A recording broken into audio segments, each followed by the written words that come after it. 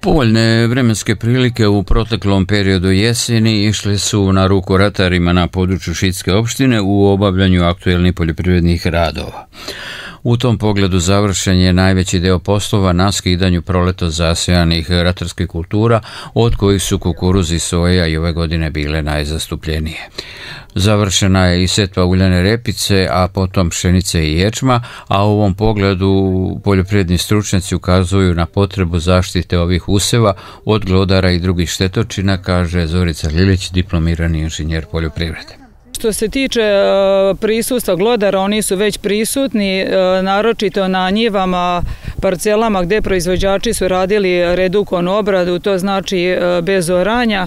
Tu obavezno, znači već postoje štete, takozvano narodu ćelava mesta, dve do tri rupe su već aktivne, su već signal da znači treba da se vrši njihovo suzbijanje. Gde su usevi skinuti, pa tu, su, tu je mera oranja urađena i ne, nema potrebe da se ovaj uradi šta.